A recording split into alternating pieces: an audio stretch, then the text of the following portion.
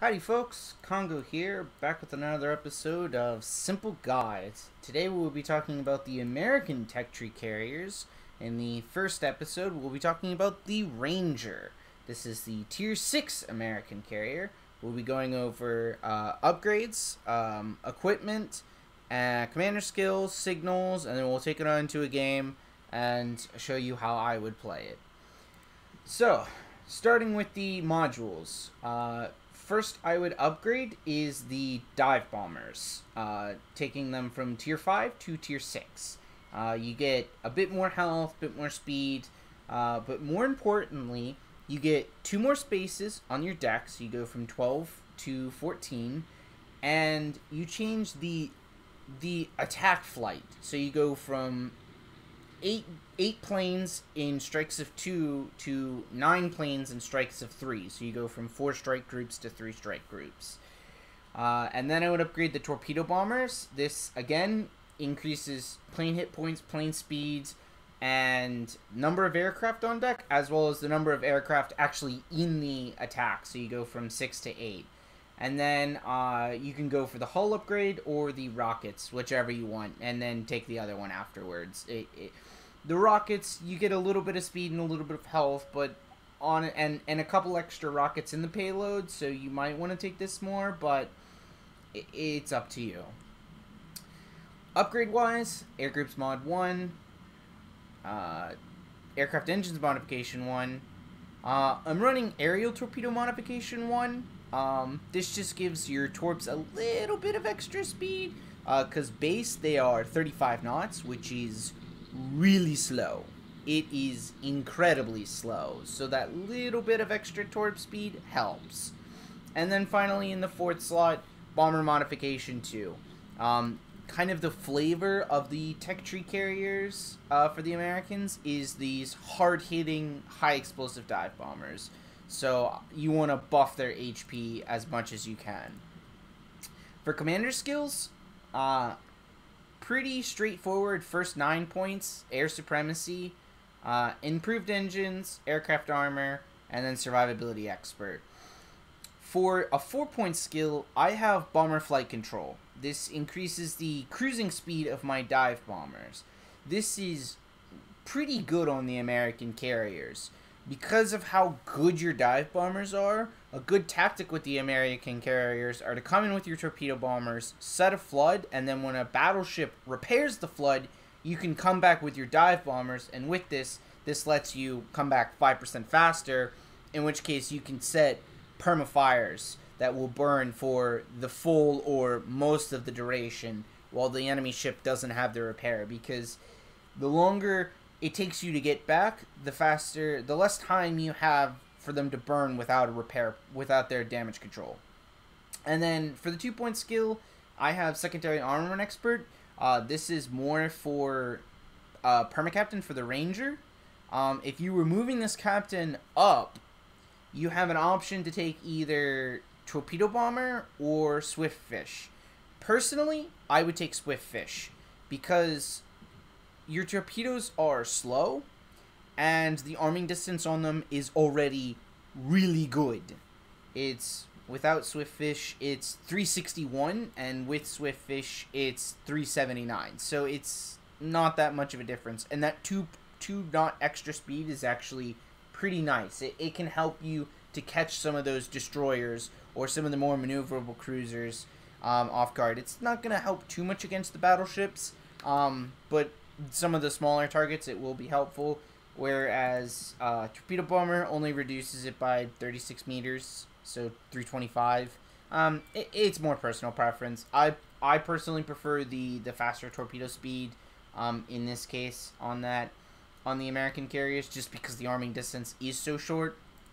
So I would probably take this, and then uh, sight stabilization uh, because the arming time or the aim time of the American carriers is actually pretty slow. Um, so this is what I would take. I would take Swift Fish and then sight stabilization as opposed to secondary armament. Um, but if this is a perma captain, then I would take secondary armaments and then maybe Swift Fish and come back, or sight stabilization and then come back for Swift Fish. Um, the secondary armament, much like on the uh, Ryujo at tier 6 for the Japanese, is helpful to bump your AA up just a little bit to help against taking damage because, as I mentioned in that guide, you have no armor, very, very little armor, and in fact, Ranger is notorious for actually being citadeled by high explosive rockets. Um, and you have no bolts protection as well. So having that little bit of extra AA helps.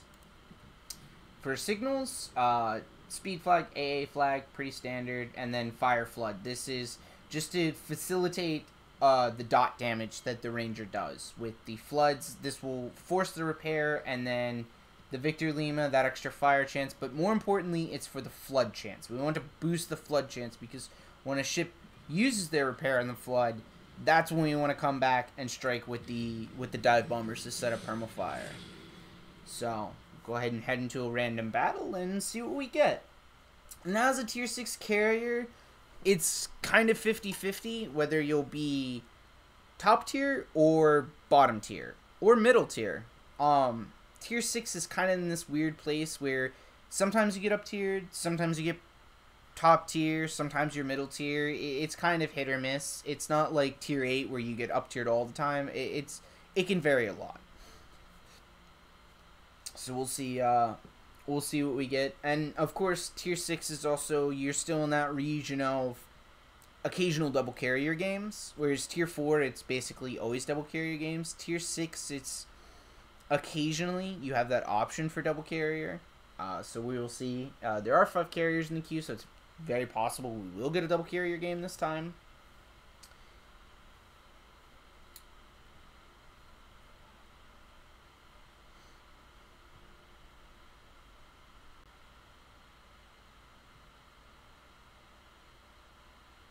So let's see.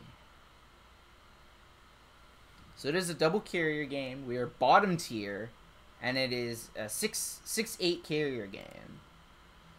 So that's pretty brutal matchmaking for us. Um, in terms of ships we can strike, um, Edinburgh's got pretty good AA.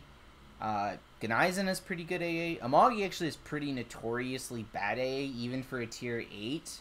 Um, Helena, eh, okay AA. Fanta- the destroyers are, are not scary at all. So they're probably the destroyers and maybe like the Amagi or the New Mexico if she's isolated are probably going to be our our priority targets that we're going to want to harass.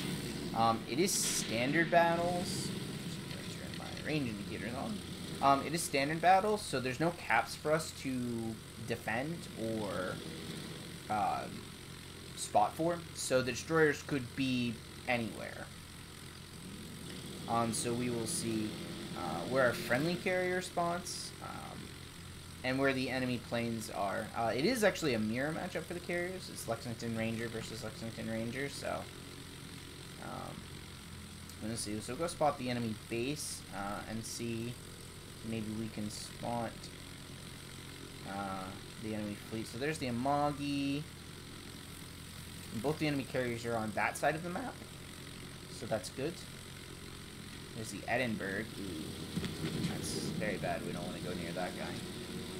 Back my planes off. Gneisenau's over here. Looks like Gneisenau's coming over here as well.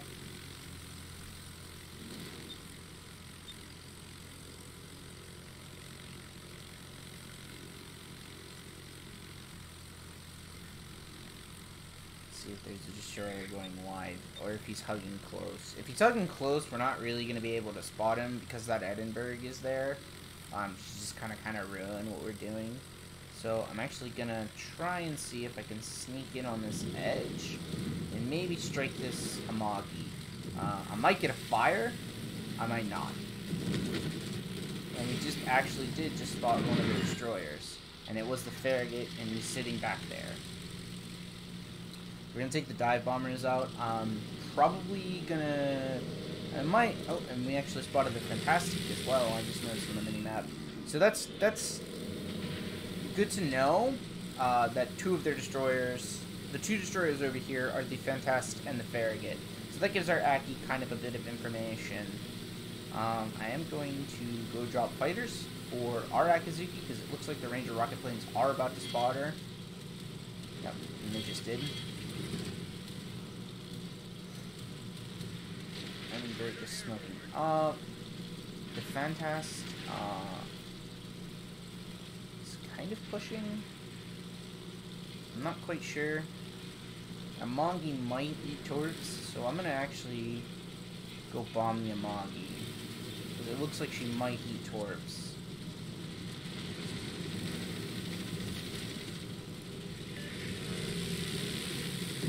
She did in fact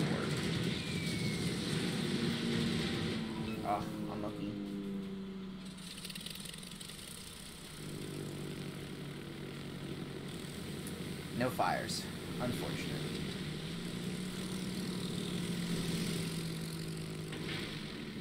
Uh, we're just gonna keep focusing this Amagi. As I mentioned, Amagi, very, very weak AA, even for a tier 8 battleship. She's actually get very notoriously weak AA. So if we can set her on Flood again, because, I mean, there's a Cleveland, there's a Turbot, and there's an, a Katsuki, so I'm assuming she's gonna be on fire in multiple places. Um, having probably just used her repair on the flood from the torpedo she just took. So if I can set another flood, that will guarantee that she's dying. Because uh, she can't escape. And she might even die before our torps connect. Yeah, looks like she's gonna... Uh, maybe not. Is here? Yeah. That's okay she went down. We made sure, even if um, she hadn't died there, those those folks were more insurance to ensure that she did go down, and that there was there was no chance that she was gonna get away from that, because uh, we didn't want her to get away, especially as a top tier battleship. That's really good to get one of their top tier battleships out of here. Now we're gonna go focus the Fantast and probably the Helena. Uh, they're the next biggest threats. It looks like the Fantastic is actually running, um, so we're actually going to go spot her again. Because uh, we know she's low, and as a French DD, she does not have a smoke screen, so she can't hide from us. Her only hope is to shoot down the aircraft. So, she might go run for the Edinburgh. Um, we don't know where the Edinburgh is. Actually, the Edinburgh just got spotted, so we know exactly where the Edinburgh is now. Way over there. There's New Mexico. So we try and kill her. If we don't kill her here, we'll come back with the dive bombers. Try and kill her that way. Yeah, so we'll come back with the dive bombers. I'm gonna just skip over the island, go straight for her. Because we know she's low, and if we can get rid of their destroyer, that's super good. Because we've already lost uh, one of our destroyers. So if we can get rid of their destroyers, that's really good. Because they have all four of their destroyers still alive. Um, Killer Fantastic. I might go see if that Farragut is moved. Because um, he was last spotted in H3. We haven't seen him since. see if he's uh, moved or not. But I want to go kill this Fantastic. I'm assuming she's probably going to uh, try pushing towards New Mexico for A support. And in fact, that's exactly what she's doing. Um, you got to give a lot of lead on some of the on these French destroyers because they are bugging fast. She's actually trying to juke us by slowing down, but I noticed that, so I'm going to anticipate that and drop there. And we do in fact hit her instead of fire, but she has repair. get another fire on her. If I can get another fire with this dive bomber, I will actually just kill her. Because she just used her repair on the single fire. Ah, she lived. Damn. Unfortunate. So, what I want to do is I want to move my carrier, like, right there. Uh, that's a super good spot for the carrier on on this particular map, especially uh, in this early game, because it's it's pretty close to the center of the map, which means I can spread out my influence a lot, and I can I can get anywhere, and it's protected from the enemy carrier trying to strike me. Oh, that fantastic so low. I was kind of hoping one of one of my DBs would be able to kill him, uh, but it doesn't look like they, did, so I might have to go do it. Mexico is flooding. I don't know if he has no repair. Um, or if he's got floods in multiple spots. So I'm gonna drop them there. Although it is New Mexico, it is pretty nimble. Concentrate fire on the designated target. But it's turned back in, so I'm gonna come in from side drop. Ah, plane died. Unfortunate. So I'm gonna take the dive bombers out, and I did hit him with a with one.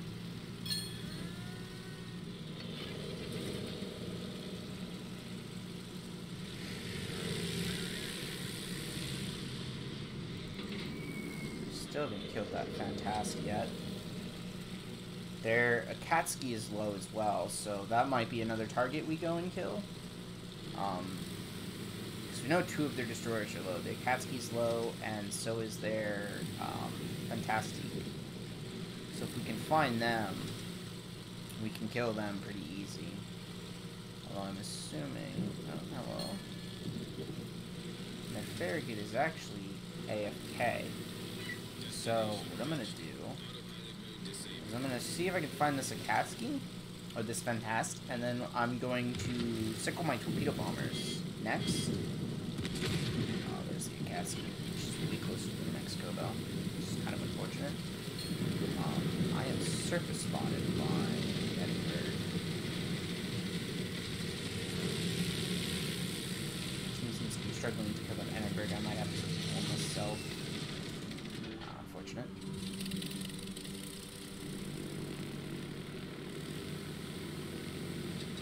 Attention. Reporting the target position.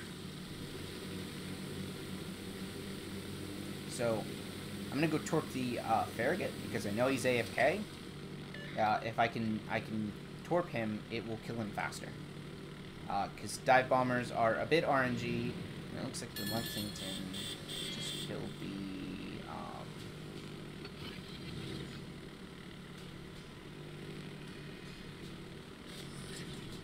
being shot at by, I believe, the Edinburgh, but that's fine. I've got health. Just, I've got a bit of health, and if he wants to waste his time shooting me, that's not a big deal. Oh, this Farragut might have woken up. He's not over here. Oh, no, he is. There he is. He's still AFK. Yeah, the, the Edinburgh is, is just shooting me, which is fine. Um, because I doubt she'll kill me. And she doesn't kill me, it, it doesn't mean anything.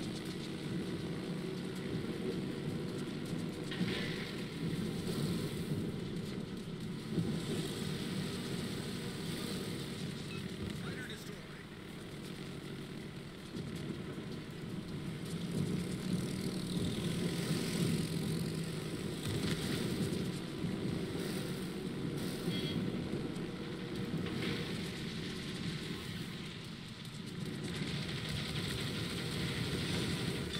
There we go.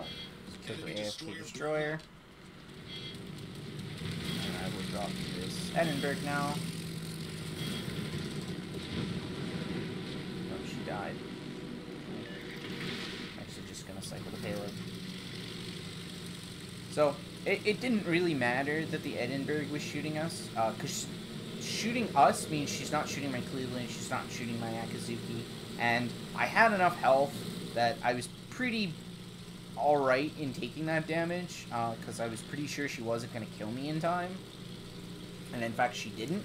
So she was just kind of doing chip damage, but in the grand scheme of things, um, it wasn't enough to kill me, and therefore it was fine because I'm still fully capable of doing anything with this amount of health. Um, Mexico.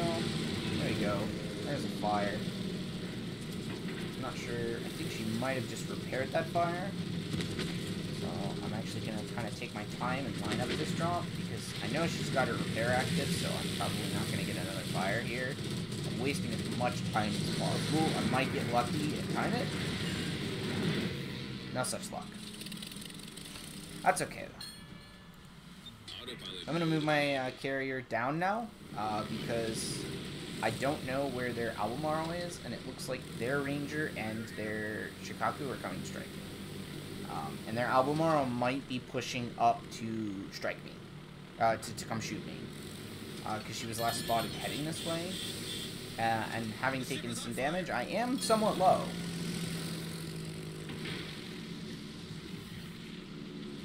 Head this way, see if I can spot. Kinda wish my fighters would do something.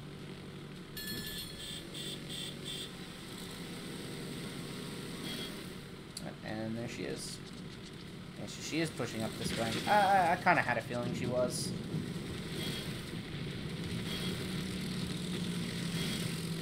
So now we're in a kind of dangerous situation where we are killable by the enemy carrier, and we need to hustle on out of here as fast as we can because we are quite vulnerable to being killed. Uh, having taken all that damage from the um,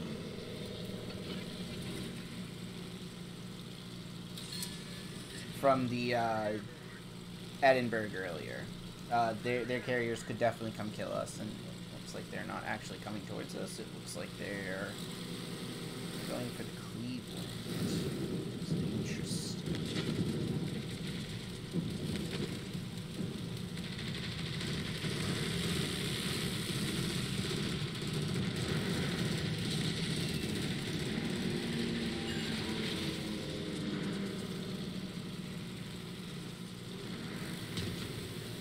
Nice. It looks like a Cleveland managed to dodge.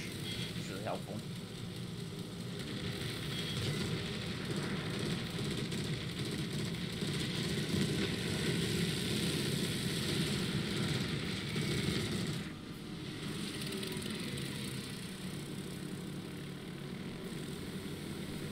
Now we can um, just keep this Albemarle spotted. Because we can see the Akazuki has smoked up. Uh, so if we can just kind of keep this, this, or we can see our Akazuki has smoked up. So if we keep this Albemarle spotted, he can just gunboat. Um, and that, and that's kind of the plan is to just let him gunboat. Yeah, we'll actually took a shot at me. Okay, I should survive. And in fact, he actually just straight missed. So.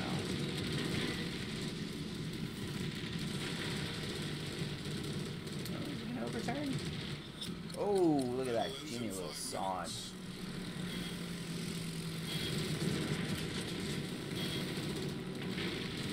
I don't think it'll matter. Uh, I think he will die to uh, the Aki's fire, so... Oh, and he didn't. He actually just died to me. So, I will take that. The Cleveland just killed their Ranger. I'm going to help the Cleveland with the Farragut. Um, and maybe... Oh, look at that. And the Fantastic got spotted by the Lexington. The Lexington should be able to kill the Fantastique, uh, just because he's low. And I actually don't have any fighters in the strike group, which is unfortunate. So I can't actually give fighter protection to my Cleveland because I have no fighters. Oh, nice. He actually just killed him. Sweet. It means hunt for the uh, Lexington, but I have a pretty good idea. I know where the Lexington is. Um, should probably sit behind this island, I would guess.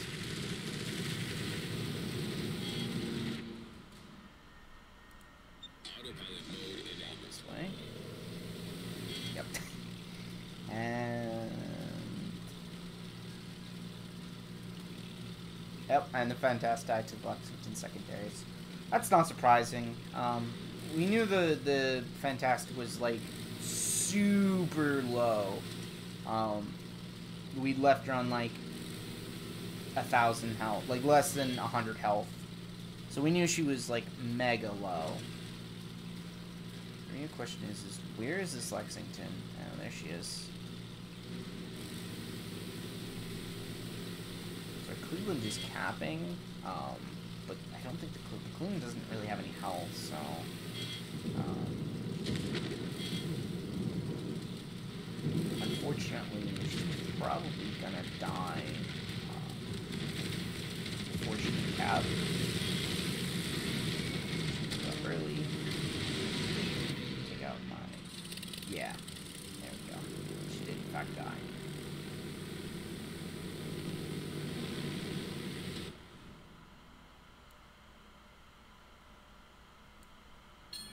Oh boy. That's not good. I did it again. I've made a mistake. I thought my dive bombers had uh, things still. Um, no. Kill them? Yeah, there we go. We stopped the strike. Perfect. Autopilot mode enabled. So I'm actually just gonna head to the cap.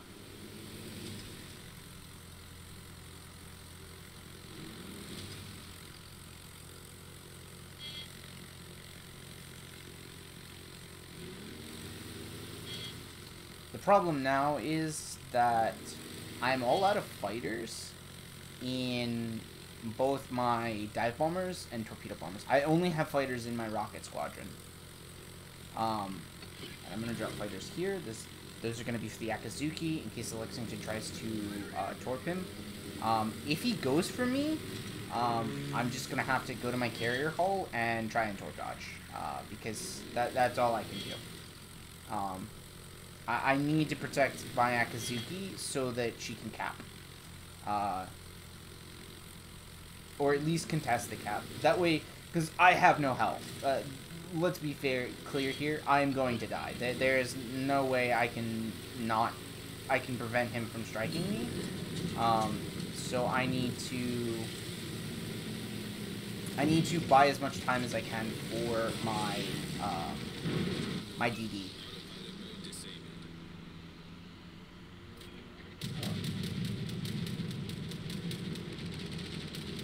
The more time I can waste of this Lexington is less time that he is striking my destroyer. I get it before it arms. I did in fact get it before it arms. I need to keep turning. I need to keep turning so that the Lexington can't get another drop.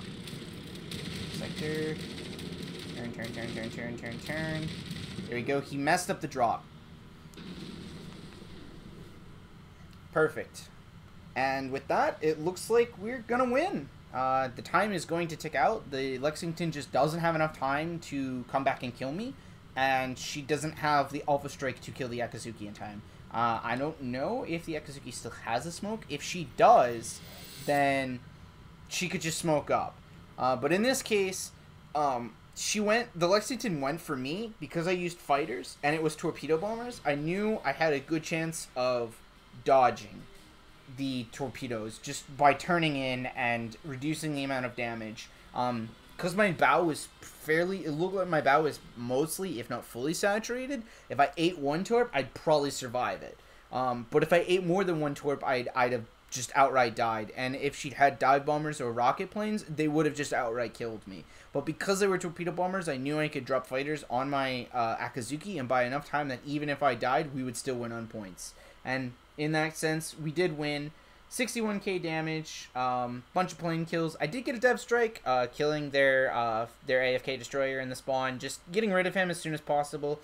Um, it is just points. We needed the points, um, and we were second on the team, which is you know as a bottom tier carrier, that's you know that just kind of shows you the the amount of carry that even as a bottom tier carrier you can still do. So.